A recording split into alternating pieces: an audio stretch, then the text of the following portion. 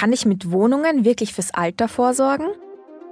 Moneymates, der Wirtschaftswoche-Podcast, der dich erfolgreich macht. Mit Tina Zeinlinger und Jan Guldner.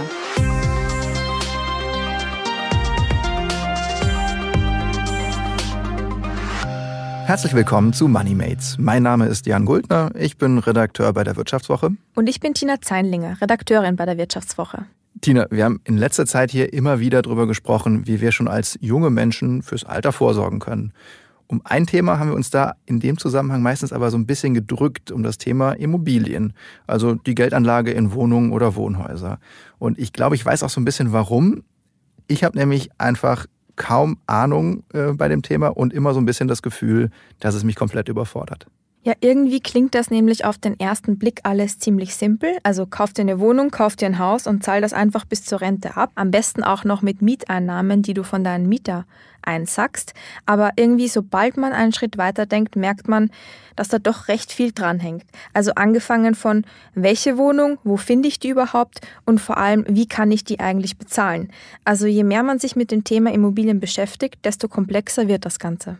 Ja, und damit wir da jetzt nicht weiter so im Dunkeln tappen, haben wir uns heute mal einen Gast eingeladen, der davon wirklich Ahnung hat. Herzlich willkommen, Marco Lücke. Hallo Tina, hallo Jan, schön, dass ich da sein darf. Marco, du bist der Mitgründer von Immocation und du und deine Kollegen, ihr habt es euch so ein bisschen zur Aufgabe gemacht, Menschen beizubringen, wie sie Wohnungen kaufen und vermieten können und wie sie sich daraus auch eine hübsche Altersvorsorge basteln.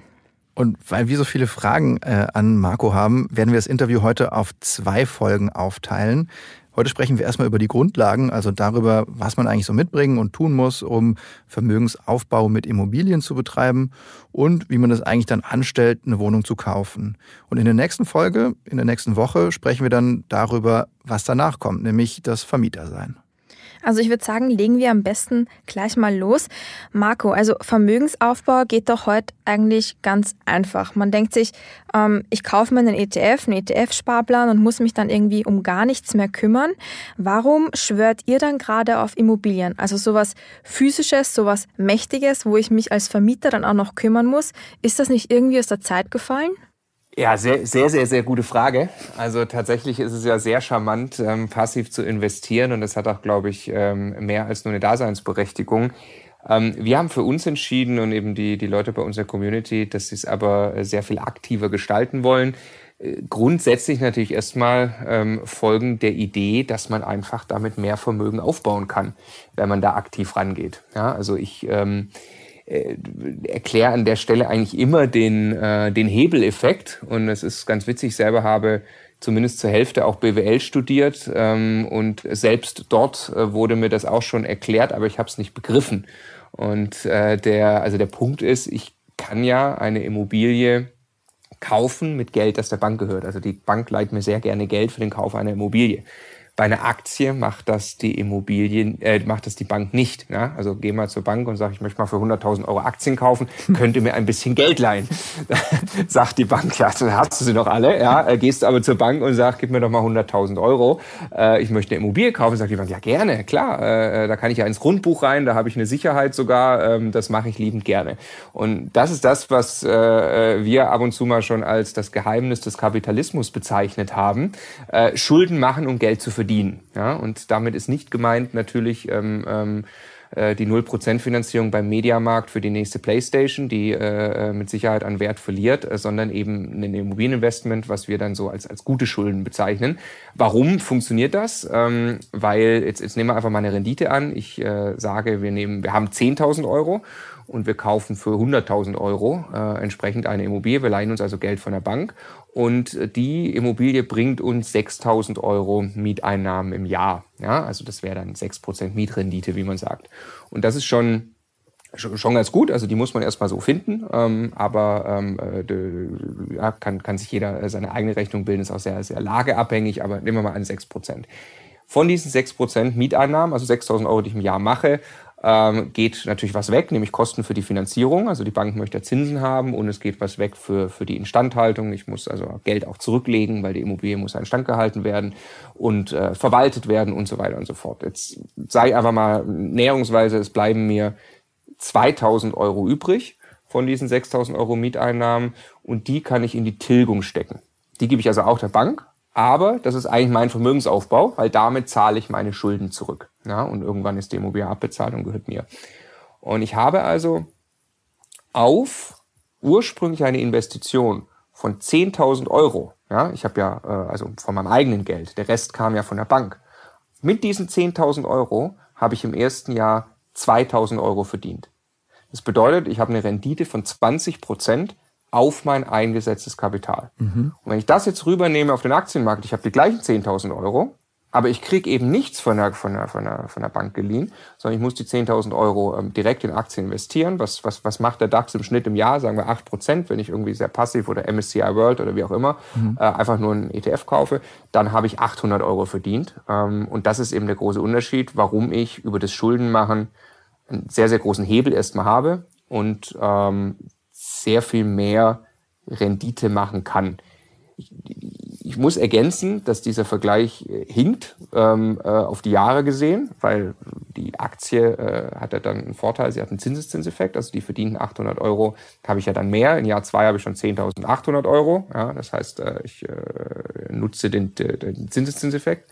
Während bei der Immobilie in Jahr zwei äh, das Geld in der Immobilie gebunden ist, in, in Form der zurückgezahlten Schulden. Das wird also nicht reinvestiert. Ja? Das heißt, das, also man kann das ist jetzt ein bisschen, das ist kein Äpfel mit Äpfel-Vergleich, 100 Prozent, aber im Kern heißt es, die Bank leiht mir Geld und alles, was meine Investition Geld verdient, bezieht sich auf die 100.000 Euro. Also auch wenn meine, meine, meine Immobilie im Wert steigt, auch nur um zwei Prozent, dann steigen ja 100.000 Euro im Wert. Aber ich habe ursprünglich mal nur 10.000 Euro vom eigenen Geld eigentlich reingetan. Mhm.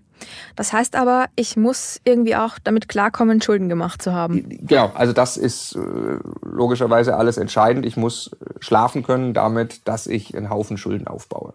Wenn ich oder wenn wir uns das jetzt mal überlegen wollten ähm, und sagen wollten, ich, ich würde es auch gerne so machen, ähm, was wäre denn der erste Schritt? Was brauche ich dafür? Also du hast eben schon gesagt, man braucht 10.000 Euro vielleicht so, das reicht dann. Und, ähm, oder ist das, ist das schon eine, äh, eine Kategorie, mit der man arbeiten kann? Ähm, und was brauche ich noch? Also was sind so die, die ersten Schritte? Du brauchst äh, Geld und du brauchst Zeit. Und mhm. Geld, ja, also meine erste Immobilie hat 7.000 Euro Eigenkapital gebraucht und hat 58.000 Euro gekostet. Ja, der Rest kam von der Bank.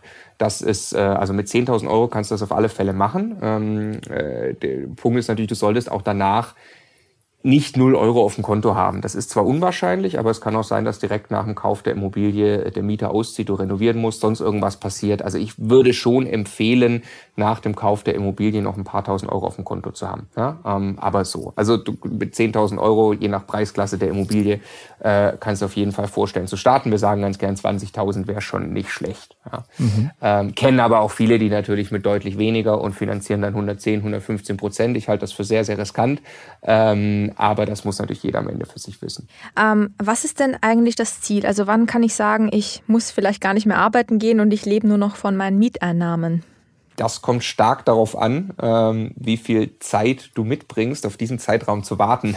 Also das ist genau das, was ich gerade, was ich gerade meinte mit unserem eigenen Immobilienprojekt, was dann irgendwann für, für etwas ausgeartet ist, weil wir unsere Zielsetzung gegeben haben. Wir wollen quasi ein bedingungsloses Grundeinkommen für uns selbst erschaffen, ähm, das auch so auf. Aber ja? ja, Entschuldigung, dass ich dich jetzt unterbreche, aber mit wie viel habt ihr denn angefangen, um da so einen groben Eindruck zu bekommen? Also wie viel Zeit hast du am Anfang mitgebracht? Also, also genau, das ist vielleicht der, der interessante Zeitraum war so, wir haben innerhalb von anderthalb Jahren sechs kleine Wohnungen gekauft, zu zweit. Das habe ich neben einem Fulltime-Job gemacht. Da war ich äh, im Vertrieb, äh, da war ich 29 Jahre alt, hatte eher 60, 70 Stunden Wochen und habe das nebenbei gemacht. Das Aufwendige daran war die Akquise, also die Suche der Immobilie. Dann noch ein bisschen Aufwand, die Immobilie in Betrieb zu nehmen, wenn man sie gerade gekauft hat, also die, die Wohnung. Äh, und die, das Ergebnis dieser sechs Wohnungen ist eine Altersvorsorge. Wir wissen also, in 30 Jahren sind diese sechs Wohnungen abbezahlt und dann haben wir wahrscheinlich aus den Wohnungen in heutiger Kaufkraft zwei, vielleicht 3000 Euro jeden Monat Zusatzeinkommen. Ja, und das ist natürlich dann eine wunderbar funktionierende Altersvorsorge. Ähm, Im Hier und Jetzt sind die, die, die Cashflows, die Überschüsse deutlich, deutlich weniger, weil ich ja noch eine Bank gerade habe, die dagegen läuft. Und das ist genau der, der, der Punkt, den ich noch machen wollte. Ähm, wenn, du, wenn du sagst, ich möchte in 30 Jahren davon leben, dann kannst du das sehr gemütlich angehen lassen. Wenn du sagst, ich möchte in fünf Jahren davon leben, dann hast du Stress. Und du sprachst ja auch eben an, die Akquise ist da in dem Fall so wahrscheinlich der erste Schritt, ähm, um, um sozusagen zu dieser äh, gemütlichen Situation irgendwann hinzukommen. Ähm, was muss ich denn eigentlich wissen, wenn ich so eine Immobilie finden will oder beziehungsweise wonach haltet ihr genau Ausschau? Was ist euer Traumobjekt, wenn ihr jetzt sagt, ähm, äh, das will ich jetzt die nächsten 30 Jahre halten und das wird meine Altersvorsorge? Also entscheidend bei der Immobilie ist die Lage. Das ist etwas, was ich nicht verändern kann. Das heißt, man muss sich im Vorfeld, nicht beim einzelnen Objekt, sondern man muss sich im Vorfeld sehr gut überlegen, wo man eine Immobilie kauft. Das macht einen riesen Unterschied, ob ich in der Innenstadt in München nach einer Immobilie suche oder äh, im Osten auf dem Land. Ja, ähm, und irgendwo dazwischen liegt wahrscheinlich die Wahrheit für eine gute Altersvorsorge. Und dann würde ich äh, erstmal immer nach einem Quadratmeter Kaufpreis gucken, dass äh, ich ein Gefühl habe, was ist an dem Markt üblich.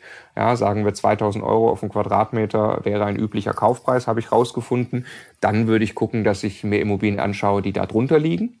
Und dann würde ich im zweiten Schritt die, äh, die Mietrendite ausrechnen.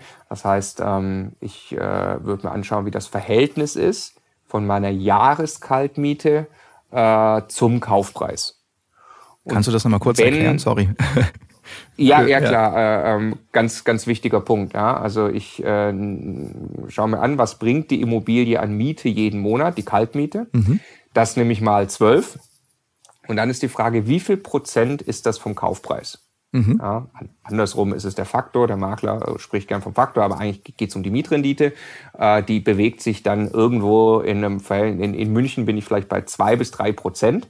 Vom Kaufpreis ist die Miete, das heißt, weil die Kaufpreise astronomisch hoch sind schon in München, während ich ähm, in sehr renditestarken Lagen bin ich dann vielleicht bei acht Prozent, äh, weil die Kaufpreise entsprechend niedriger sind. Und das ist mhm. deshalb so entscheidend. Sorry. Nur den, den, den, mhm. den Punkt noch. Das ist, das ist deshalb so entscheidend, die Mietrendite, weil von, der, von den Mieteinnahmen muss ich ja die Bankrate bezahlen und die Kosten bezahlen. Und ich weiß ja eben, meine Bankrate ist beispielsweise vier Prozent. Äh, wenn die Mietrendite also sechs Prozent ist, dann habe ich noch zwei über äh, für die Kosten und für Instandhaltungsrücklage. Für dich als Immobilienprofi ist das wahrscheinlich jetzt eine ziemlich doofe Frage, aber wo finde ich denn eigentlich heraus, welcher Quadratmeterpreis typisch ist für so ein Kaufobjekt und andersrum auch, wie finde ich raus, welcher Mietpreis angemessen ist? Also überhaupt keine doofe Frage, weil äh, darüber zerbrechen sich auch die Profis äh, permanent den Kopf. Ähm, weil das ja ein äh, intransparenter Markt erstmal grundsätzlich ist. Also beim Aktienmarkt, da kann ich äh, online nachgucken, welchen Preis heute jeder exakt gleich für diese Aktie bezahlt. Bei Immobilien ist das, schwankt das tatsächlich. Ähm, aber nichtsdestotrotz kann ich mir natürlich äh, auf den äh, gängigen Immobilienportalen einfach selber einen Preiseindruck verschaffen, indem ich mir die Anzeigen anschaue. Mittlerweile gibt's zig andere Tools. Es gibt von Immobilien Scout einen Preisatlas, es gibt von Home Day, das ist so ein Makler-Startup, ähm, gibt's auch ähm, Preisatlas die aggregieren die Daten. Da kann ich mir dann auch auf, auf, äh, für eine Straße oder für eine Stadt äh, komplett anschauen, was sind denn durchschnittliche Quadratmeter Verkaufspreise und was sind durchschnittliche Quadratmeter äh, Kaltmieten. Und wo habt ihr so zuletzt zugeschlagen? Also was waren da gute Lagen, wo ihr gesagt habt, da haben wir irgendwie ganz gute Erfahrungen gemacht, wo wir unter dem Durchschnittspreis ja was bekommen konnten? Also da, da Oder ist das geheim? Ja, nee, da, da, nein, also wir reden da äh, äh, auch drüber, weil es ist genau Teil unserer Mission bei Immocation, dass mhm. wir Transparenz reinbringen wollen. Mhm. Ähm, ich sage immer nur, unsere Co-Investoren killen uns immer ein bisschen, weil die wollen natürlich noch ein bisschen Vorsprung haben im Markt. äh, mit denen, aber da hat auch jeder seine eigene Wahrheit. Ne? Also was ich gerade toll finde, ist die Story in Brandenburg. Äh, halbe Stunde bis anderthalb Stunden von Berlin weg. Ähm, da gefühlt äh, ist eine, eine, Entwicklung zu sehen. Da ist es noch nicht teuer, äh, noch nicht so teuer. Na, der äh, Tesla Gigafactory vielleicht auch? Das hat schon äh, der ein oder andere mehr gehört, da okay. ist es schon teuer. Okay. Ähm, aber ja, wir haben tatsächlich auch 15 Minuten von dort entfernt ein, ein Mehrfamilienhaus gekauft und sind extrem glücklich damit. Mhm. Also das haben wir auch erst äh, vor, weiß ich nicht, acht Monaten gekauft oder so. Ähm, und mittlerweile haben schon mehr von Tesla gehört, so dass das tatsächlich auch im Wert steigt. Aber äh, man merkt, wie Berlin brutal nach außen drückt. Äh, Leute wohnen sehr gerne ein, anderthalb Stunden von Berlin weg, auch wenn sie nicht in Berlin arbeiten, aber einfach die Nähe äh, schätzen sie sehr. Und das, das ist eine eine sehr dynamische Entwicklung, die ich, die ich gut finde, ähm, um, um zu investieren. Und als zweites sei trotzdem Bayern hervorgehoben. Es ist brutal teuer, aber Süddeutschland generell ist äh, extrem strukturstark. Wenn ich sage, ich brauche keinen Cashflow im Hier und Jetzt, ich bin vielleicht bereit, sogar noch ein bisschen was draufzuzahlen jeden Monat, ähm, aber zum Großteil zahlt mein Mieter mir ein paar Immobilien in Bayern ab, dann habe ich natürlich da ganz tolle Lagen gekauft. Mhm. Mal angenommen, ich habe mich jetzt entschieden, okay, Region Brandenburg oder vielleicht auch Südbayern wäre interessant. Wie stelle ich dann die Suche an? Also gehe ich dann auf ImmoScout oder google ich einfach ähm, Immobilien in Bayern? Also wie stellt ihr die Suche an? Klingelt ihr vielleicht sogar an Häusern ähm, oder an Wohnungen?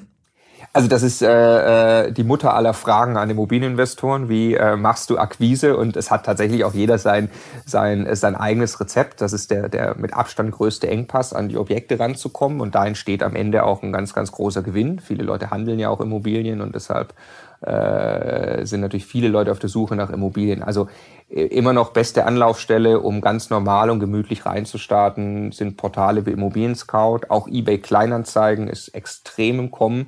Ähm, äh, und dort geht es einzig und allein um Geschwindigkeit. Mhm. Also es gibt Leute, die gucken da alle fünf Minuten drauf. Und äh, tatsächlich gibt es Immobilien, die sind dort eine Stunde und dann sind sie wieder weg, weil sie schon jemand gekauft hat oder reserviert hat. Ne? Ähm, also das würde ich immer als erstes machen und dann würde ich auf Besichtigungen gehen auch bei Immobilien, die nicht so interessant scheinen vom Preis her. Vielleicht geht tatsächlich noch was, weil irgendeine Problemsituation auftritt. Und vor allem lerne ich einen weiteren Makler kennen. Und das wäre äh, auf jeden Fall eine weitere super Anlaufstelle, einfach mal Makler äh, versuchen kennenzulernen, zu Netzwerken, mit Leuten sprechen, überall streuen, dass man Immobilien sucht. Makler sind de facto Multiplikatoren. Ähm, also neben der, der, der On-Market-Suche über Portale, äh, wie man sagt, ist dann natürlich das nächste, was man gerne hätte, sind die Off-Market-Immobilien, die also der Makler auf den Tisch kriegt, aber noch nicht veröffentlicht hat und mir schon mal in WhatsApp zuschickt, ob es vielleicht für mich interessant wäre. Ähm, das ist so, so ein bisschen Stufe zwei und dann kann man das Ganze äh, auf beliebige äh, Level ausweiten. Also man kann durch Straßen laufen, klingeln, man kann Plakate aufhängen, Flugblätter verteilen. Es ist keine Grenzen gesetzt. Und was sagst du dann, wenn du klingelst? Sagst du dann, hallo, darf ich Ihr Haus kaufen? Oder wie ist so die klassische Akquise da? Also habe ich tatsächlich schon gemacht. Ähm, muss jeder sein, äh, sein, seinen eigenen Weg finden. Also ich habe mal hier bei einem Haus geklingelt, das war sehr, sehr heruntergekommen, was für München sehr unüblich ist. Und ich dachte, das gibt's ja nicht. Und dann habe ich geklingelt und habe gesagt, ähm, schönen guten Tag, ich ähm, bin, bin äh, hier der Marco von, von Immocation. Wir machen so Immobilienvideos. Ich würde gerne das Haus filmen, ähm, bräuchte aber die Genehmigung vom Vermieter. Wer ist denn hier Eigentümer? Und äh, so habe ich tatsächlich auch den Eigentümer direkt rausbekommen, habe äh, eine sehr nette Dame dann kontaktiert, die sofort im Location interessant und so habe ich eine, eine Gesprächsebene. Auch da muss jeder mhm. seinen, seinen, seinen Weg finden, über was unterhalte ich mich mit der Person. Mhm. Und die, dann habe ich irgendwann gefragt, warum ist denn das so schlecht in Stange? Und dann, ja, jetzt wo Sie sagen, ich habe es gerade geerbt und ich weiß nicht, was ich damit tun soll. Ich bin mhm. überfordert mit der Immobilie und äh, ja, vielleicht kann man helfen, vielleicht kann man sie ein bisschen unterstützen und so, genau, geht das dann seinen Weg. Verstehe. Das heißt, man muss schon auch irgendwo gut mit Menschen klarkommen, wenn man sich für so ein Immobilieninvestment entscheidet. Also wenn, wenn, wenn ihr mich fragt nach dem, dem allerwichtigsten, der allerwichtigsten Fähigkeit, dem wichtigsten Skill für einen, für einen Immobilieninvestor, für einen privaten Immobilieninvestor, ist es genau das. Mit Menschen können, empathisch. Ich glaube deswegen übrigens auch, dass, dass Frauen die besseren Immobilieninvestorinnen sind. Es gibt leider viel zu wenig davon. Ja, weil sie sind empathischer einfach und sie, sie, sie, sie, sie, sie hören zwischen den Zeilen, was die Menschen wirklich wollen. Und Immobilien sind am Ende Deals zwischen Menschen. Ich muss Verkäufer überzeugen, ich muss auch meinen Mieter überzeugen von Dingen, die ich will. Ich muss auch einen Handwerker überzeugen. Also ist ganz anders als Aktien, wo ich einfach hinter meiner Excel-Tapete mich verstecke und analysiere, äh, muss ich hier mit Menschen reden. Wenn ich das gut kann, werde ich erfolgreich sein. Ähm, wir sind ja gerade in so einer Marktphase vielleicht auch, wo man sagen könnte, ähm, es ist alles so ein bisschen überhitzt ähm, und man hat so das Gefühl irgendwie, also wenn ich mit Freunden spreche, die was suchen, da kommen dann halt 120 Leute zum Besichtigungstermin, selbst beim Kauf von einer Wohnung in Köln, die eigentlich relativ teuer ist. Und da frage ich mich dann, ist es für euer System ein Problem, dass der Markt vielleicht an gewissen Stellen dann doch ja, sehr heiß gelaufen scheint? Oder wie schätzt du die Marktlage überhaupt ein?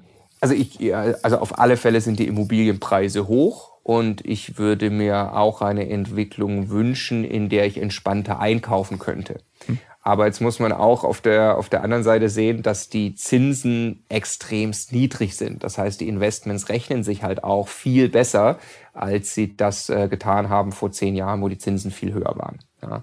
Ähm, jetzt äh, gibt es natürlich Märkte, die brutal sind. Also wenn ich in genau in Köln oder in München äh, in der Innenstadt auf eine Besichtigung gehe, das als Renditeobjekt kaufen zu wollen, das sich von selbst abzahlt oder gar noch was abwirft jeden Monat, ähm, ist natürlich ein Irrglaube und funktioniert nicht. Auf der anderen Seite, wenn ich mich dort in dem Markt schaffe durchzusetzen, wenn ich ein bisschen mehr Zeit investieren will und in München anfange, Immobilien zu handeln, äh, dann habe ich natürlich brutale Margen, ähm, äh, weil da gerade viel geht. Aber äh, genau, also die Entwicklung, es, es, es macht, es, es, es ist nicht leichter, aber es gibt unzählige Immobiliendeals. Es gibt vier Millionen private Vermieter in Deutschland, von denen die allermeisten sagen, sie sind eigentlich nicht wirklich happy äh, mit ihren Immobilien. Die haben die irgendwann mal bekommen. Es werden ständig Immobilien gehandelt. Ganz viele Immobilien werden unter Marktwert gehandelt. Und es gibt zig lukrative Standorte, Speckgürtel. Also das ist so das Wort, was mir sofort immer in den Sinn kommt. Natürlich die, die Top 7 Städte, äh, da ist es schwer, eine Rendite jetzt zu machen. Ähm, aber dann gehe ich in die, in, die, in die Speckgürtel, wo immer noch genug Menschen sind und wo es äh, einfach noch nicht so teuer ist. Wenn du nach Immobilien Ausschau hältst, guckst du dann auch nach Neubauten oder ähm, stürzt du dich eher auf so Altbauobjekte? Ja, also ich, ich persönlich tatsächlich äh, gar nicht nach Neubau, weil einfach bekanntermaßen die, die Renditen bei Neubau schlechter sind. Neubau ist äh, was, was Eigennutzer sehr gerne kaufen. Eigennutzer mag man nicht so gerne als Konkurrenten im Ankauf haben, weil die kaufen sehr irrational ein. Die rechnen nämlich keine Renditen aus, sondern die gehen über Emotionen und zahlen deshalb sehr hohe Preise. Äh, also es ist Neubau allein deshalb schon mal schwierig. Ähm, es geht, also es geht. Es gibt Leute, die machen, wie wir das nennen, auch Bau and Hold. Also die bauen auch selber und halten das. Aber äh, tatsächlich Bestand und auch da, weil du gerade Altbau sagtest, auch nicht der schöne Altbau Altbau, der frisch saniert ist, weil da habe ich genau das gleiche Problem wieder, äh, sondern nee, ähm, hässlicher 50er Jahre Bau, äh, schäbig runtergewohnte ein, zwei Zimmerwohnung, ist gerade ein Raucher ausgezogen, die Tapete hängt von der Decke. Das ist mein Traumobjekt, ähm, weil ein, und ein Makler, der sich keine Mühe gibt, der ein schlechtes Foto gemacht hat. Ähm, wenn ich das sehe oder am besten einen Einzeiler auf eBay Kleinanzeigen, äh, das, das könnte einen guten Deal geben. Da kann ich mit relativ wenig Aufwand ähm, wieder ein schönes Vermietungsobjekt rausholen. Und äh, die, das sind auch typische Immobilien, die später gemietet werden, wenn sie in entsprechenden Lagen sind. Äh, und deshalb würde ich, würde ich sowas äh, äh immer suchen. Okay, schäbige Decke, heruntergekommene keine Ahnung was, Tapetenputz oder so ähnlich. Das klingt auf jeden Fall nach sehr viel Aufwand. Aber ich würde sagen, wir schauen uns das einfach in der nächsten Folge an, wie man dann ähm, auch zu einem erfolgreichen Vermieter wird und ähm, wie man dann vielleicht auch so eine heruntergekommene Altbauwohnung auf einen Standard bringt, der dann auch den Mieter glücklich macht. So würde ich sagen, machen wir das. Vielen Dank schon mal, lieber Marco, an dieser Stelle. Äh, wie es dann eben weitergeht, erfahrt ihr in der nächsten Folge. Äh, wir hoffen auf jeden Fall, dass ihr, liebe Zuhörerinnen und Zuhörer, schon ein bisschen was gelernt habt und vielleicht auch selbst auf die Idee gekommen seid, euch ein bisschen mehr mit dem Thema auseinanderzusetzen. Und wenn ihr das eben wollt und ein bisschen mehr noch erfahren wollt, bleibt unbedingt noch eine Minute dran bis zum Ende, denn dann wird Marco euch nochmal drei Tipps verraten, wo ihr am besten nach lohnenswerten Immobilien sucht. Und wenn ihr selbst schon ein paar Erfahrungen als Immobilienanleger gesammelt habt, teilt sie uns gerne auf den üblichen Kanälen per WhatsApp, Instagram oder E-Mail. Die Kontaktdetails findet ihr wie immer auch in den Show Notes. Und jetzt hört ihr, wie gesagt, nochmal Marco von Immocation. Ähm, er verrät euch gleich drei Tipps, wo ihr gute Immobilien findet und wie ihr die Immobiliensuche gut anstellt. Wir sagen Servus, Pfirti und Baba. Ja, hier kommen also noch meine äh, Top 3 Tipps, um Immobilien zu finden. Anlaufstelle Nummer 1, absolut im Kommen, äh, ganz klar eBay Kleinanzeigen. Dort äh, ja, kann man sehr äh, günstig inserieren als Verkäufer oder kostenlos inserieren. Deshalb äh, sind oft dort Immobilien zu finden, die äh, es eben nicht auf Immowelt äh, und ImmoScout gibt. Nummer zwei, ganz klar der Makler. Der Makler ist oft deshalb unbeliebt, weil er äh, gefühlt eine fette Provision nimmt. Die Provision zahle ich aber sehr gerne, sogar aus dem Eigenkapital, wenn ich dafür eine gute Immobilie bekomme. Und Makler sind einfach Multiplikatoren, die machen den ganzen Tag Akquise. Das heißt, es lohnt sich unbedingt, sich mit Maklern zu vernetzen, wenn ich äh, eine oder gar auch mehrere Immobilien kaufen will. Und Tipp Nummer drei, ähm, ich habe überlegt, Social Media zu sagen, ähm, da geht auch viel, aber es ist auch nicht, also es äh, ist auch nicht der, äh, der einfachste Weg. Deshalb sage ich, die Wohneigentümergemeinschaft, das ist eine Gemeinschaft, äh, wenn äh, mehrere Eigentümer in einem Haus Wohnungen besitzen, dann treffen die sich einmal im Jahr zu einer Versammlung und ganz viele von denen haben keine Lust mehr auf ihre Immobilien. Bedeutet, wenn ich entweder bei Hausverwaltung oder weil ich selbst eben schon eine Immobilie, eine Wohnung in einem Haus gekauft gekauft habe, einfach mal einen Rundbrief schreibe an die anderen Eigentümer, dass ich grundsätzlich Immobilien suche, dann kommt dabei auch sehr oft mal was Positives bei raus. Das war MoneyMates, der Wirtschaftswoche-Podcast, der dich erfolgreich macht. Mit Tina Zeinlinger und Jan Guldner. Produziert von Anna Hönscheid.